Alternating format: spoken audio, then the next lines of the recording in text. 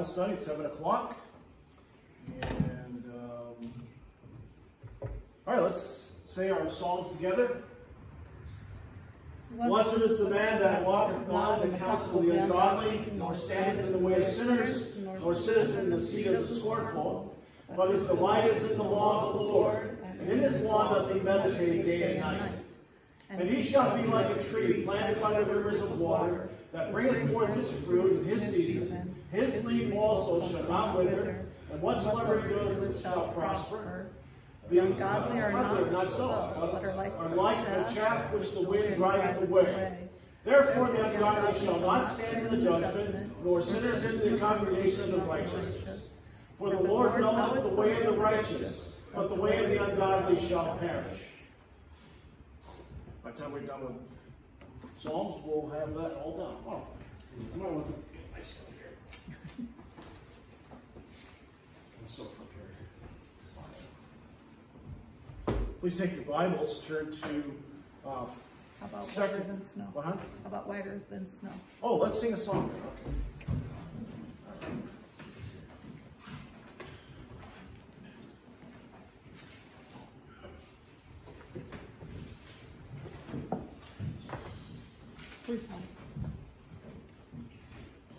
Stand together. Let's sing this hymn together. Whiter than snow.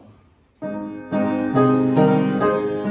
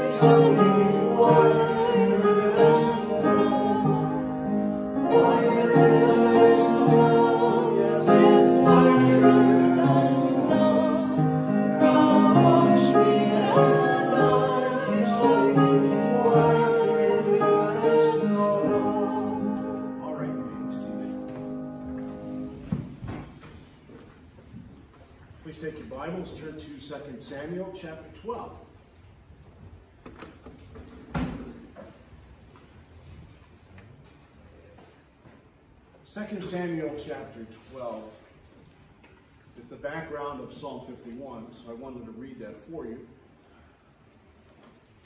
Actually, you probably should read 2 Samuel chapter 11 and 12 to get the whole story.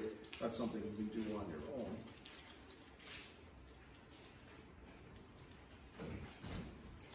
Second Samuel 12, and the Lord sent Nathan unto David, and he came unto him and said unto him, there were two men in one city, the one rich and the other poor. The rich man had exceeding many flocks and herds, but the poor man had nothing, save one little ewe lamb, which he had bought and nourished up, and it grew up together with him and with his children, and it did eat of his own meat, and drank his own cup, and lay in his bosom, and was unto him as a daughter. And there came a traveler unto the rich man, and he spared to take uh, of his own flock and of his own herd to dress. That's amazing. Yeah, okay. This doesn't sound right. To dress for the wayfaring man that was come unto him, but took the poor man's lamb and dressed it for the man that was come to him. David's anger was kindled, greatly kindled against the man. He said, Nathan, as the Lord liveth, the man that hath done this shall surely die and he shall restore the lamb fourfold because he did this thing and because he had no pity. Nathan said to David, Thou art the man. Thus saith the Lord God of Israel, I anointed thee king over Israel, and I delivered thee out of the hand of Saul. I gave thee thy master's house, thy master's wives into thy bosom, and gave thee the house of Israel and of Judah. And if that had been too little, I would moreover have given unto thee such and such things. Wherefore hast thou despised the commandment of the Lord, to do evil in his sight? Thou hast killed Uriah the Hittite with the sword, and hast taken his wife to be thy wife, and hast slain him with the sword of the children of Ammon. Now therefore the sword shall never depart from thine house, because thou hast despised me, and hast taken the wife of Uriah the Hittite to be thy wife. Thus saith the Lord, Behold, I will rise up evil against thee out of thine own house. I will take thy wives before thine eyes and give them unto thy neighbor, and he shall lie with thy wives in the sight of the sun. For thou didst it secretly, but I do this thing before all Israel and before the sun.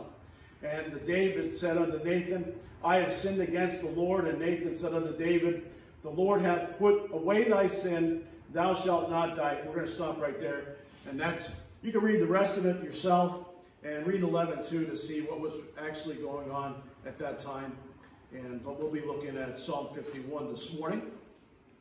May God bless us as we embrace this passage of Scripture.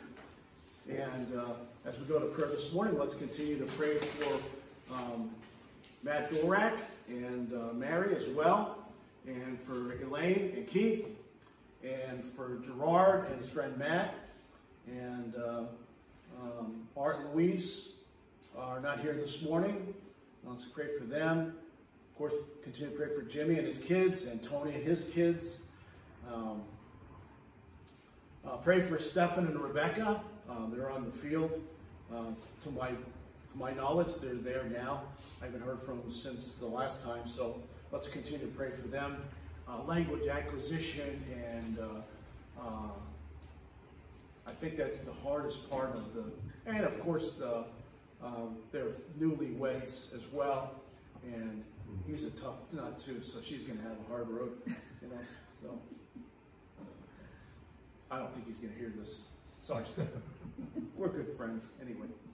And let's see.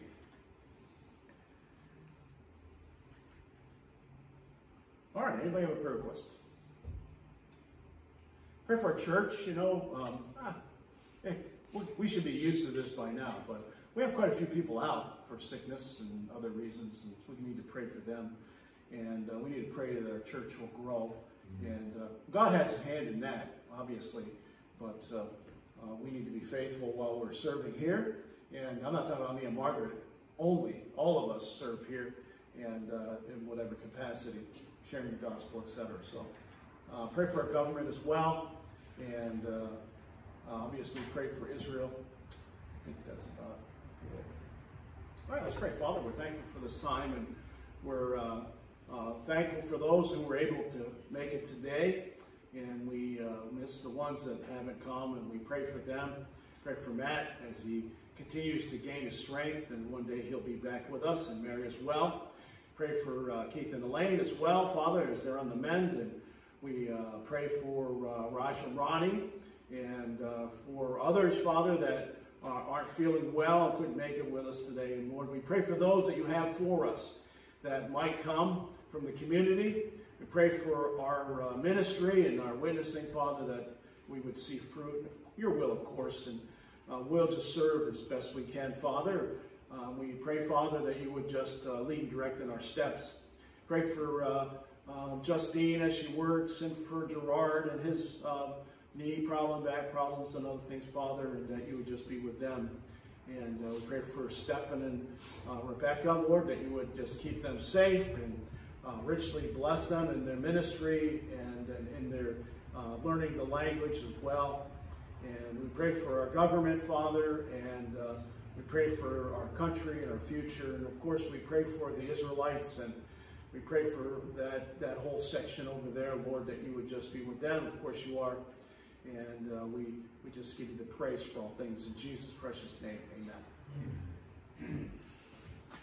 It's interesting when you uh, uh, try to understand the concept of praying for Israel, because Israel, right this moment, uh, many of them uh, reject Jesus as the Messiah. And, uh, you know, they're Jewish people. But uh, we have to understand what the Bible talks about as praying for Israel, and Israel have his God will have His way with Israel one day, and uh, um, our country is one of the only allies Israel has left, if that's even true today. So we really need to pray for them and uh, the unrest we have in our own country. So it's a big order, but we know that God's in complete control and that uh, there should be no worry about what's going to happen. We know that He's going to have His way with us and our country and the world in his timing. Let's sing another great hymn, uh, Have Thine Own Way, Lord. Always kind of falls right into place. 16.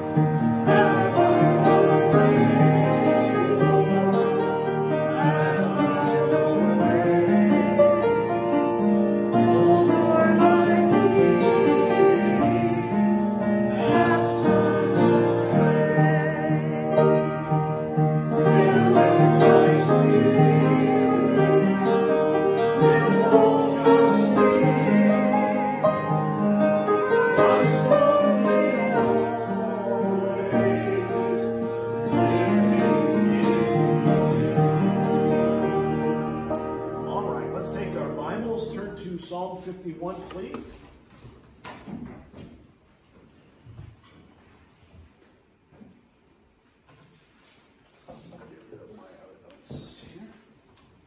I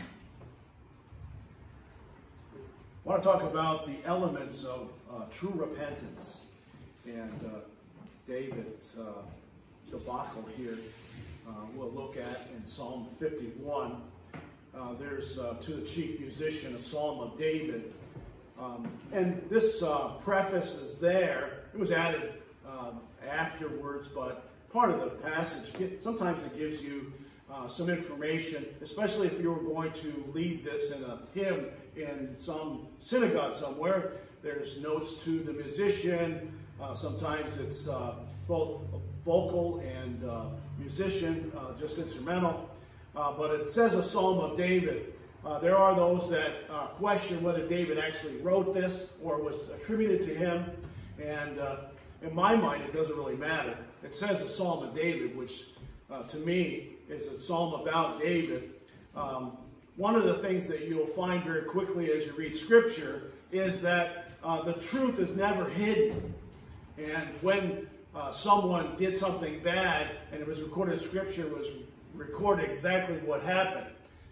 Perhaps David might not want to share this, uh, especially uh, what, what went on, and I'm sure other people uh, knew about it and were affected by it. But if you were to take 2 Samuel um, chapter 11 and 12 together, you would get the bigger picture of what uh, David did. Now, David was considered God's beloved. He was anointed as king. I read this for you. God reminds him of all that he did. And if he needed anything, God would have supplied anything he had. So, uh, the, the story that Nathan gave to David, you remember David was a shepherd, so sheep were um, uh, close to his heart. He wrote uh, Psalm 23, and uh, uh, this is the only story that we find that in that culture, uh, a person had an animal that was their pet. Uh, most of the animals were uh, raised for food and for uh, wool and stuff, but uh, I think uh, obviously, in spite of the Holy Spirit, Nathan tweaked this to really make it sound terrible, which it was at the rich man. And this really kind of goes along with how the world really is. Those who have a lot don't want to give up anything they have, and they want what you have. Seems very similar to our government today. They're very happy to spend your money, but don't. And I, I noticed that, and it's in record, you can look at the what I classify as the wrong side, and uh, they they're very uh, non-generous in their giving. They make millions and they give very little. And on the right side, you'll see those people are very generous in their giving. And uh, it really kind of is a bottom line between dark and lightness as far as good and evil in the world and all this. What we're looking at here is David as a believer. Now, there's a difference between him and us because of the cross. If you're a believer today, you're sealed with the Holy Spirit. You accepted that free gift. In the Old Testament economy, those that were classified as believers believed in God and in the revelation that God had given it to them. For the Jewish person, that was placing their efforts into the Levitical system. And of course, we find in the scriptures that God's intent was that the sacrificial system was a picture of what would be accomplished on the cross, but he wanted them to really um, be a part of it, not just go through the motions. And we find in the Old Testament that that's kind of what they were guilty of. Not necessarily putting their heart into it, but just going through the motions, and God didn't want that as well. So what we have in this passage is elements of uh, what repentance is all about. Because in our day and age, a lot of the churches today that are we would classify as postmodern churches, uh, they have kind of tweaked the gospel into you know, just mumble some words and go back to your seat and you're good to go. And uh, there's really no need for um, repentance. You know, they don't want to use words that will disturb those people about sin, etc. But in this passage, God brings out the, the importance of understanding sin. And David uses three different um, classifications for sin. And uh, we have uh, transgressions, which implies rebellion against God's authority, iniquity, which means a distortion of what should be, and then the word sin itself is missing the mark. We kind of understand that from the definition of uh, um, sin in the New Testament is missing that mark. But the definition of sin is designed so that we understand the responsibility of the one that sins. And uh, David says in, um, let's see, right in the first verse, he says, O God, according to thy loving kindness, loving, loving kindness, according unto the multitude of thy tender mercies, blot out my transgressions. Now there's some interesting terms used as we look at this passage. The uh, loving kindness is, and you know, I could give you the Hebrew word, it wouldn't really matter, but it, it's almost the picture of what we would look as in the New Testament, in Koine Greek, is charis, grace. And he's looking for God's grace in this case. There's nothing he can do about it. And he uses the uh, idea of uh, tender mercies. The word blot is a really familiar passage. That would be something that's eradicated from a page, like your name is blotted out. You're no longer there. So he's looking at only God is capable of removing this sin, uh, this transgression. So we have the, definition of sin, and uh, one of the things that we understand, and I hope that you do well, is one of the ministries of the Holy Spirit is conviction. And not I'm convicted, you know, um, that this is right, this is wrong. The Holy Spirit's ministry of conviction is revealing to you uh, your sin. And uh, true conviction will hound you. David talks about this. His sin was ever before him. There was no way to forget it. It was always on his mind. Because what we're looking at is uh, what does the Bible say about uh, real repentance? Because a lot of times Christians will say, you know, I'm saved and all this stuff, but they really have not captured the understanding of forgiveness. Because uh, uh, the Bible tells us that our sins are forgiven. The Bible describes God's relationship to that as he casts it farthest from the east to the west. It's no longer there. But many times people will rehearse and ask for forgiveness over and over about something they had done in the past. And uh, um, I'm guilty of that as well. Not necessarily asking for forgiveness because I understand that, but the feeling of guilt for something you've done. Even the Apostle Paul felt guilty for going after the church prior to the road to Damascus. So that there's uh, the uh, difficulty for us to get around this guilt. A couple of months, of, well, it could have been weeks now, but uh, we I talked about something and read this article about 98% of people that are institutionalized for mental illness is uh, the core problem is their un, inability, inability to handle guilt. And so uh, you might think that um, people have no guilt, but they go through guilt as well. And uh, it's hard for them to deal with it. A lot of times they deal with it through other sources, drugs, alcohol, etc., like that. But um, as believers, when the Spirit convicts us, there's a need for us to take care of this. This is what we're looking with David. Luke chapter 18, 13 says, God be merciful to me, um, the sinner, a sinner. The phrase has mercy literally means to be propitiated toward me. So if you were to look at the Septuagint in this passage, you would see that, uh, that translation terminology there. Uh, it's a big word. It just means that God takes care of it so it is, he's satisfied for the payment of the debt. When Christ died on the cross, his blood was shed. And so that that gift that we accept freely takes care of our sin problem. It appeases God's wrath. So true repentance begins with an acknowledgement that we've sinned. There are a lot of times people justify their sin. They, and we see that in the TV all the time. Well, the guy, yeah, he did kill him, but you got to understand, he was from the wrong side of the tracks. He didn't have a father, you know, and, uh, you know, he was sleeping in class when they were talking about ethics. I don't know. But uh, we, we find ourselves justifying behavior. And uh, nowhere in the Bible does it dilute the potency of sin. And uh, especially in this case, it says, you know, in verse 1 there, um, after he had gone into Bathsheba, he had committed adultery. Matter of fact, he committed murder. You might say, well, wait a second. He just told them to place him in the Uriah in a place and then move back and let the enemy kill him. So he didn't actually shoot the arrow. Now the Bible says sword, but if you read back in 2 Samuel, you know, uh, one of the things you learned as a soldier is don't get too close to the wall because they're up there shooting arrows at you. And uh, that's exactly what happened. A lot of people died that day. And uh, as I studied the passage, it almost seemed like there were others that died with Uriah that didn't need to die. They were put placed in a situation and then the troops removed themselves.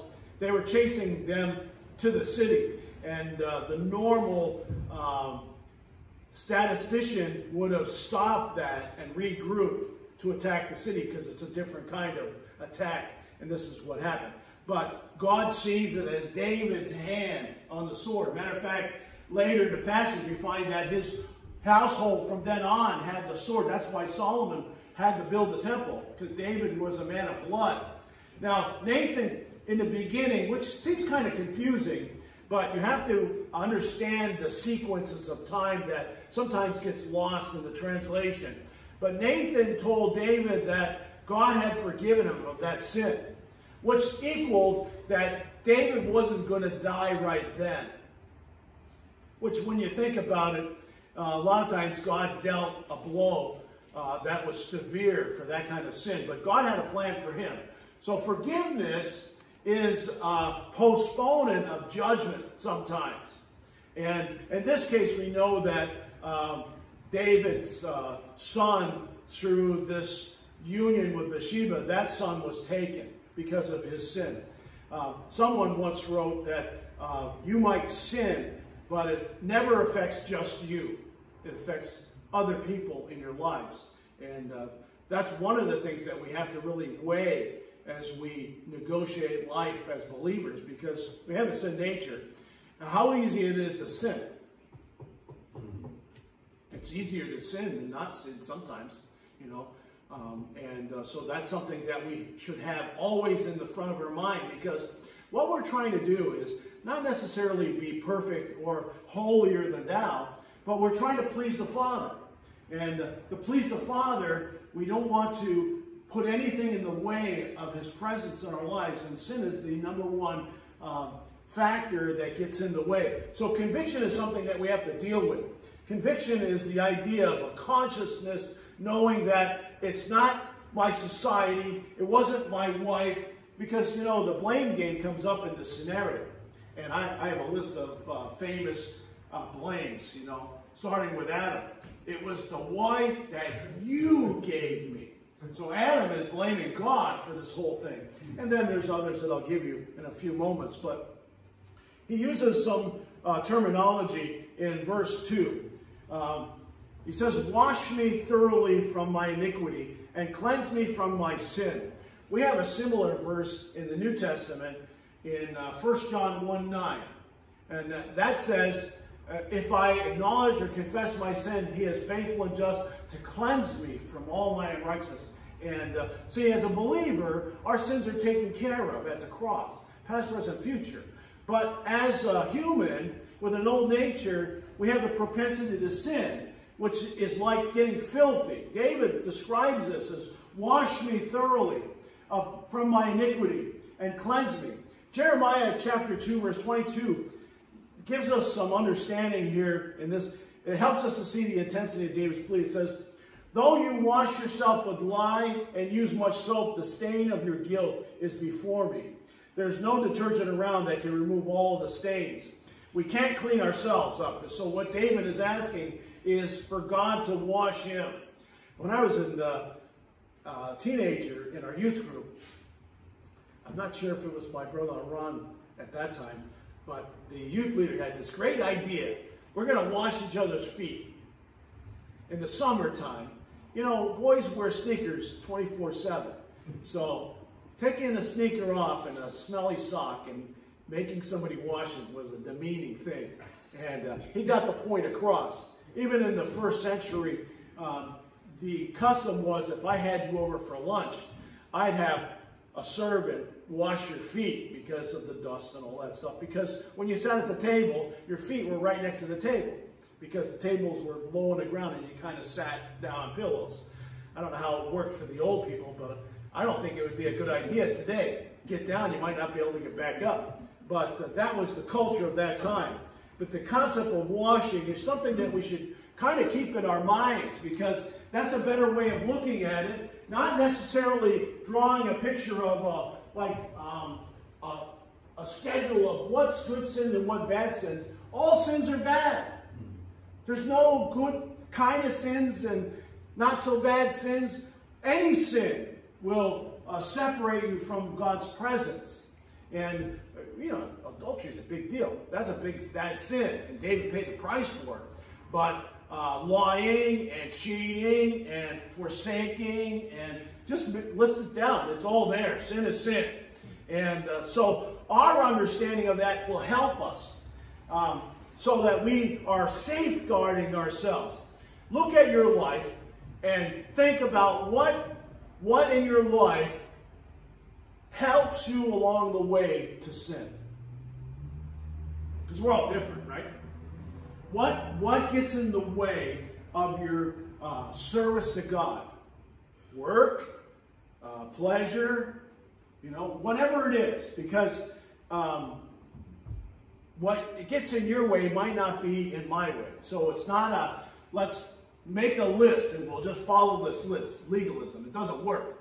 Because the Bible says what you think is sin is sin to you. But it might not be to me. You know, you might not like, well, I'm not going to use an example so mm. it's here or there. The sensitivity of sin is developed in our response to the Word of God. The Holy Spirit's ministry to convict us. Uh, that should be something that should be we should work on heightening that experience, not allowing it to be callous to the point where we don't recognize it ever again. Uh, that's a danger that happens a lot of times. So we have to be sensitive to that. And it's very difficult in our lives because we're surrounded by sin. Everything is sinful. You know, even programs that we watch, I, I find myself going back to old shows, uh, Parent Trap, I think my wife is sick of watching that because I can watch the whole show and there's nothing in it. I can watch it, there's no innuendos, there's no cursing, nothing uh, that I can think of. Oh, there is smoking in the old one, right? well, anyway, so go figure that. But, you know, um, probably shut the thing off would be better, but I've kind of been accustomed to that anyway in my whole life. William Carey was a missionary, and uh, I remember studying in college, and I felt bad for him, the father of modern missions. Um, once was asked what passage he wanted to share at his funeral. He said, Oh, I feel that uh, such a poor sinful creature is unworthy to have anything said about him. Um, he said, But if a funeral sermon must be preached, let it be from the words, Have mercy upon me, O God, according to your loving kindness, according to the multitude of thy tender mercies, blot out my transgression. So William Carey quoted from Psalm 51 in the same spirit of humility he directed in his will to have uh, these words inscribed on his tombstone. You go to England now and still see that. It says, A wretched, poor, and helpless worm, on thy kind arms I fall. Eh, okay. Sounds a little crazy, but um, humility comes when you understand who you are in, in light of who God is and what he has accomplished. There should be no pride in anything. Now, don't misunderstand me. Taking pride in your work is a good thing. When Jimmy hooked up the wires, I want them to have pride in that. Not, ah, you know what, let's do the color thing here. I don't like white, I'll just put a pink here, you know, and, uh, you know, someone gets a surprise when they hit the switch. That's different.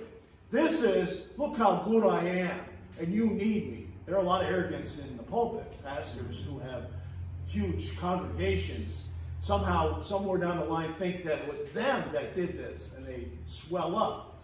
And uh, usually somewhere down the road, they fall on their faces.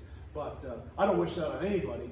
And I recognize where Paul was coming from when he uh, understood after the after his uh, meeting with Christ uh, how he felt about himself because of what he had done and how he gave God the glory from from saving him from doing that and uh, all the things around that. So as believers, uh, there should be no pride, you know, about uh, how good you are at whatever you do. other than the fact that you take pride in your work. Sorry, I beat that horse to death. Let's go to verse 3. David shows us how deeply convicted he was about his sin. He says, For I know, for I acknowledge, I'm aware of my transgression. And that, remember I said that, that means rebellious act. I'm forever conscious of my sin. It says, My sin is before me, always. Against thee, and thee only have I sinned, and done this evil in thy sight and that thou mightst be justified when thou speakest and be clear when thou judgest. And so David uh, goes from a transition from uh, conviction to confession, found in verse 4 through 6, after being, um, and I use this word busted, so you cops out there understand, we got busted. I think the kids use that phrase as well when they get caught by a mom or dad doing something. Uh, right, Dylan? He says, uh, after being busted about his sins, David is now ready to confess them in verse 4. I believe, based on the passage, that this conviction was a process that was eating at him. Uh, there's another song that says his bones grew weak because of the sin that was before him. And uh, David uh, uh acknowledged that it was against God. And you only have I sinned and done this evil thing. It reminds me of what Joseph said to Potiphar's wife when he chose purity over impurity in Genesis 39 9. Part of the verse says, How can I do this great wickedness and sin against, not Potiphar, but against God? See, our understanding of sin is that when we sin, we violate God's law. It affects other people and affects ourselves, but God is aware of that sin. Somebody said too many of us put our own spin on sin. But we must come clean without conditions. Those of us who play the blame game. Oh, here's my list now. Um, let's see, the blame game. We'll start with Adam and Eve, right? Genesis 3. The woman gave me some fruit of the tree and I ate it. He immediately reacted as was to deny personal responsibility. Adam's attempt to shift the blame was even more involved than this. When pressed by God to give an answer as to why he did what he did, Adam said, The woman you put here with me. She gave me some fruit. Unbelievably, Adam uh, tried to blame God. David's credit, he doesn't do that as evidenced by what we read so far, so that you may be justified in your words and blameless in your judgments, which is actually quoted in Romans chapter 3. It didn't take Eve long to learn how to play the game, and so she blamed the serpent. Uh, John MacArthur said, This is an unequivocal confession of his extreme and supreme sinfulness.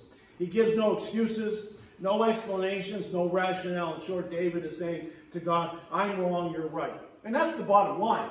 You know, you can, you know, I was doing so good, and my wife bought chocolate ice cream and put it before me and, and put a spoon in my hand, you know, and uh, almost I thought she was forcing me to eat it. That's kind of what we do with sin, you know.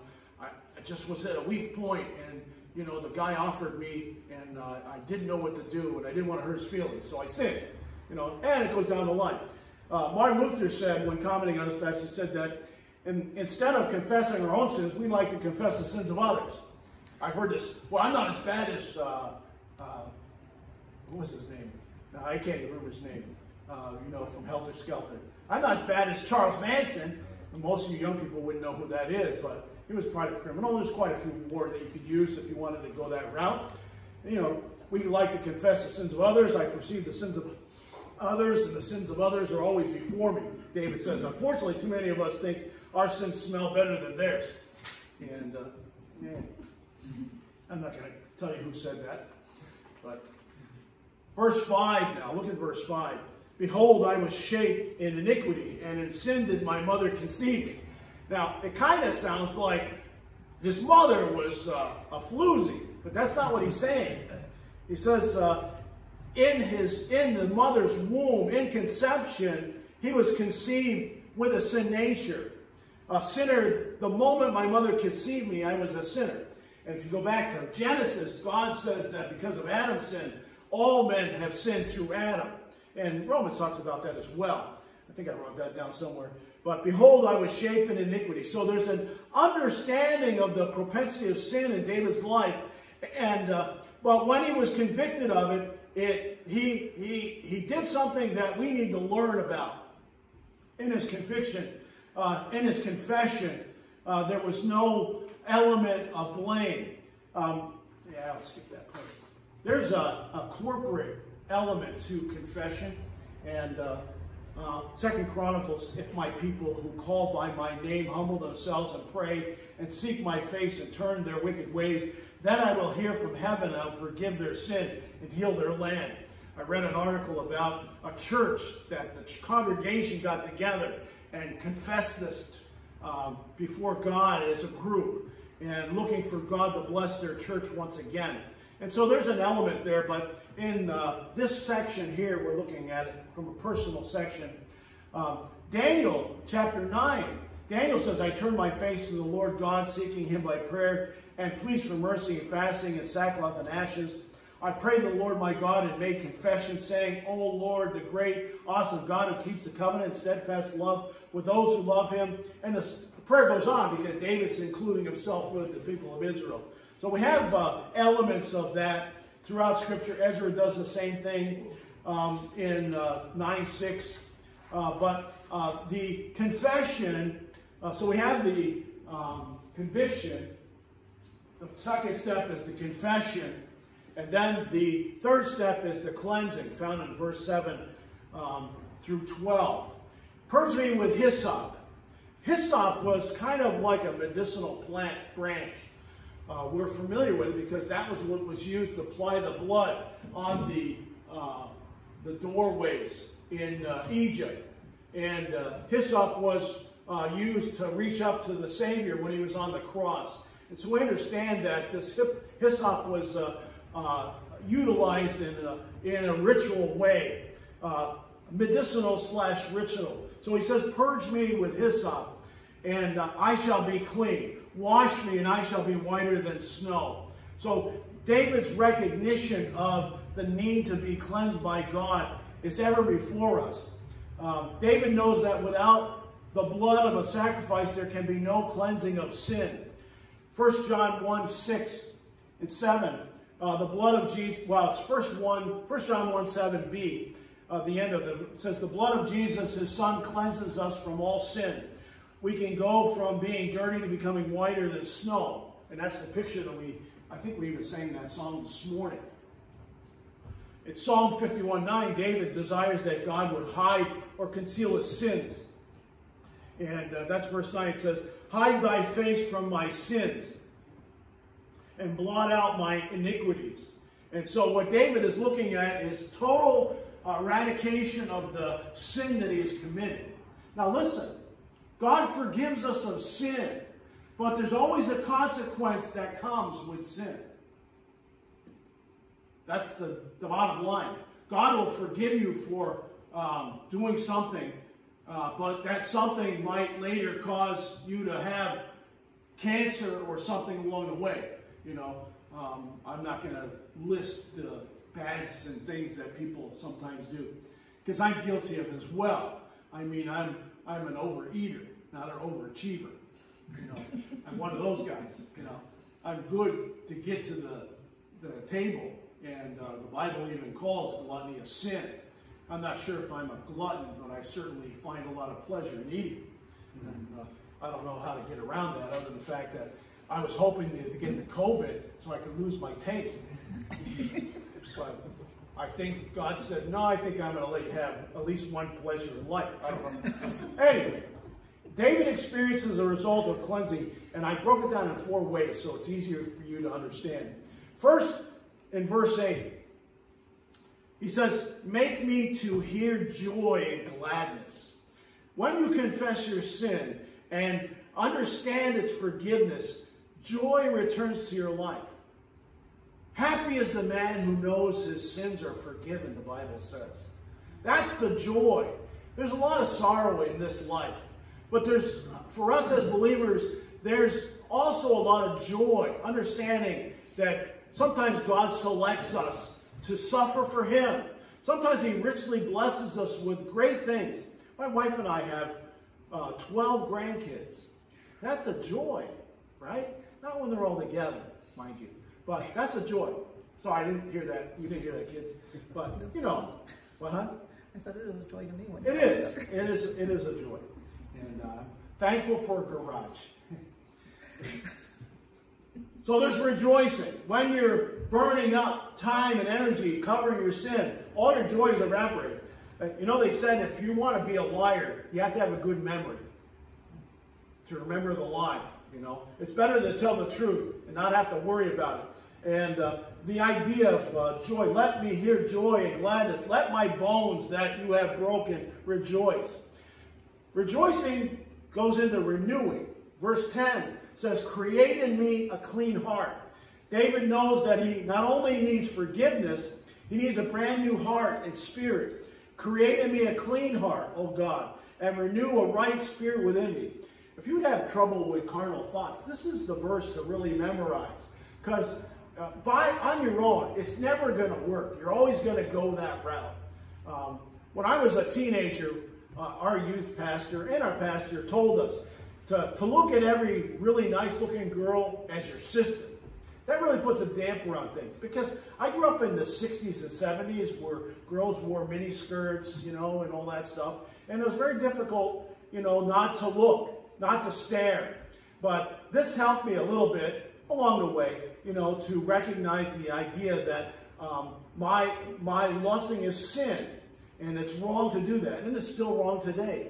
As believers, we have to harness our minds and allow God's word to have his way, because it's so easily, um, our, our, you know, our old nature so easily wants to go that route. So renewing is one thing. A clean heart, a, a new spirit. Now, talking about the Holy Spirit. Talking about our spirit, our, our attitudes, our thoughts, our consciousness. We can elevate that and walk within the uh, parameters of the Word of God. And it'll affect you because people will say, Why are you so happy when things are so bad? Well, things aren't so bad when you think about God's on the throne and one day I'm going to be in His presence. Yeah, it might be bad now, but even in this badness, my God is capable of providing for me and meeting my needs. I, there's nothing to fear. The worst thing that people fear is death. And to me, that's graduation.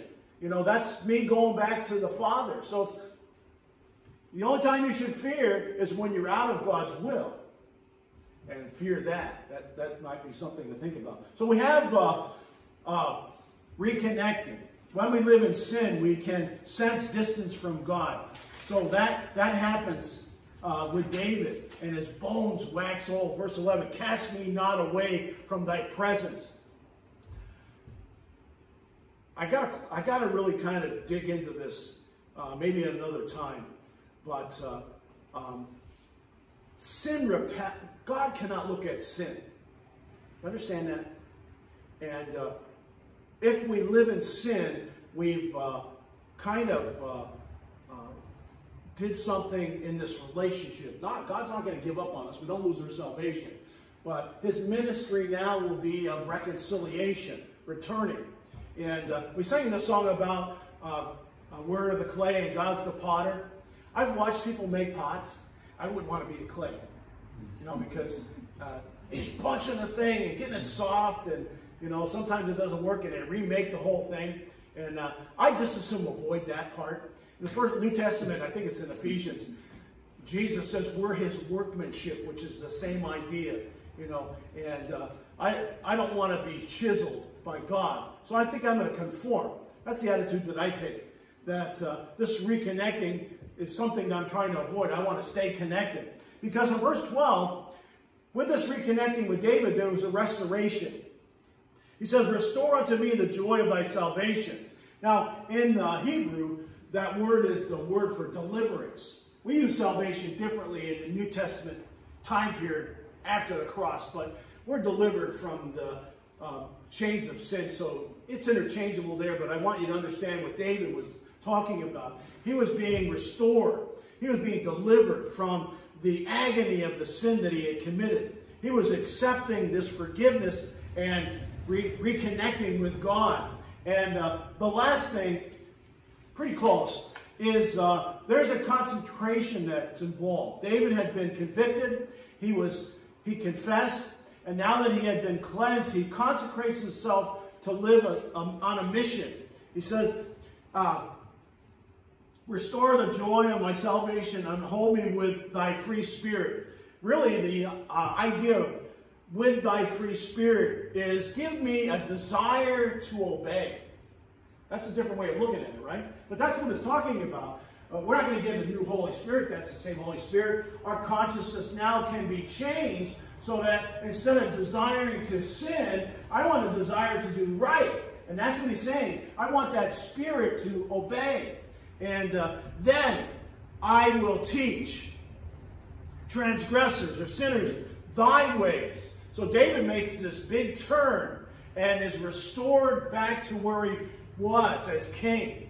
He was the leader of Israelites, and he was now going to promote uh, God's ways, and uh, so that uh, these people that were sinners will find mercy and be changed, converted He says, deliver me from blood guiltless, guiltiness. Um, deliver, a rescue from the guilt of murder. Even David understood what he did. He didn't kind of say, well, he could have survived. You know, it's like having a guy hanging off a rope on the Grand Canyon and then cutting the top. Yeah, he might survive. Maybe not. that's, that's pretty much what he uh, had accomplished with Uriah. Place him in an unwinnable position. so he was just like guilty of the guy shooting the arrow. Matter of fact, that's what the Bible says. And he wanted to be delivered from that guilt. You have any guilt? God can deliver you from that. An acknowledgement of what God accomplished on the cross frees you from that. That has been paid for, my friend. You do not have to dwell on it anymore. that is gone in the past. That's the wonderful thing about forgiveness. And God does not remember. Farthest from the east and the west. Tell me something and I'll probably remember it. But only God cannot know something. Uh, and he, he wipes that away. Two examples are found in the last verses here, 13 and 15, not the last ones. First witnessing, David is now ready to share what he's learned.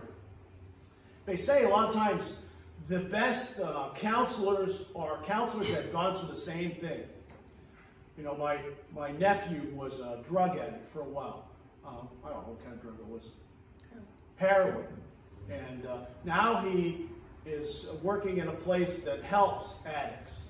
And he's really good at it because he knows what it's like to be addicted to heroin. so David understands not only the depths of his sin, but the depths of God's forgiveness.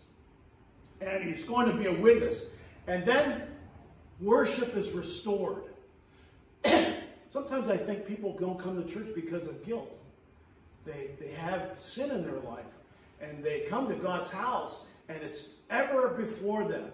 And instead of coming and being reminded, they stay away where this is where you go to find forgiveness. Because God has delivered him from his guilt, David declares, My tongue will sing aloud of your righteousness. Look at verse 14 and 15. O God, thou God of my salvation, and my tongue shall sing aloud of thy righteousness. O Lord, open thou my lips, and my mouth shall show forth thy praise. And of course, for thou desirest not sacrifice, else would I give it. Thou desirest not burnt offering. Basically, what David was re rehearsing to us and others is not the actual sacrifice, it's the heart behind it.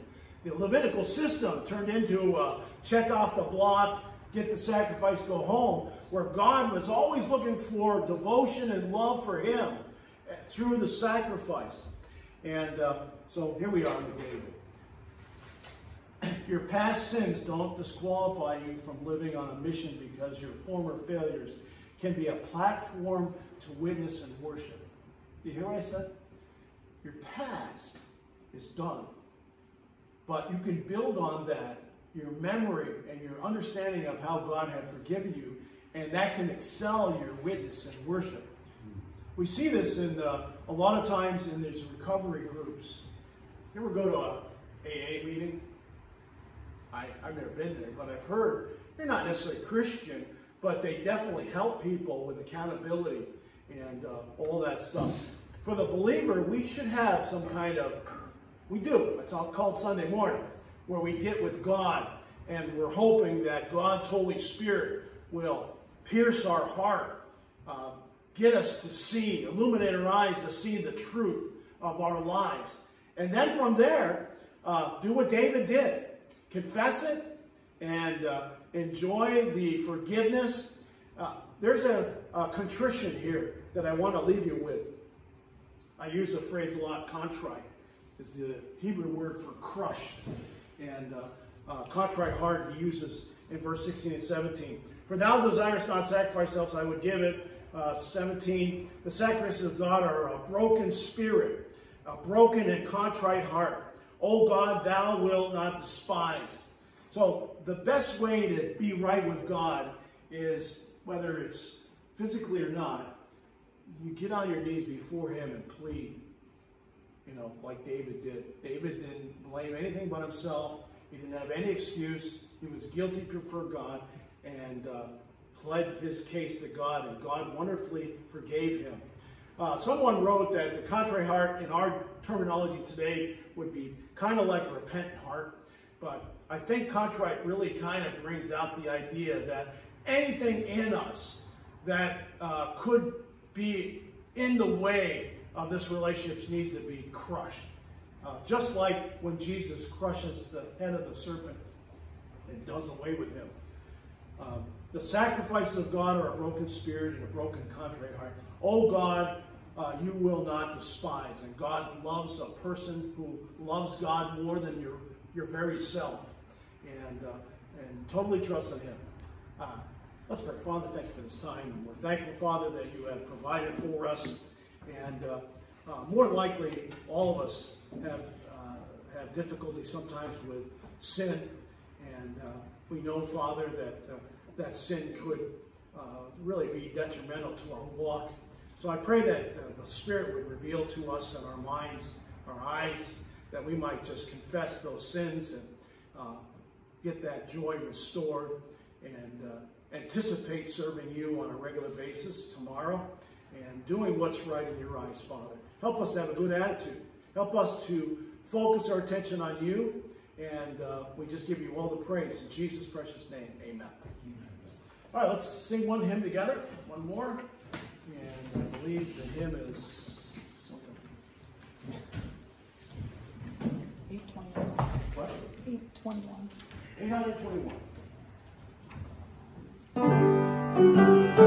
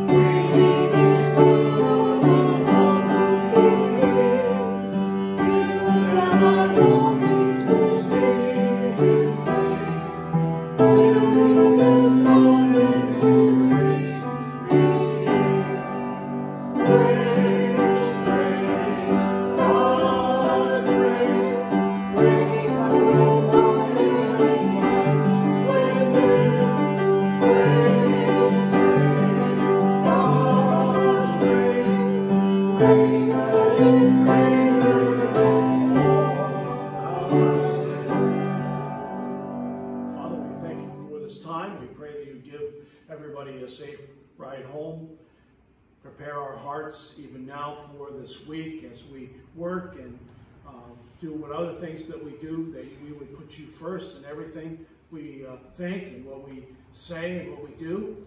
We pray for our shut-ins, Father, that you would be with them. And we just give you the praise in Jesus' precious name. Amen.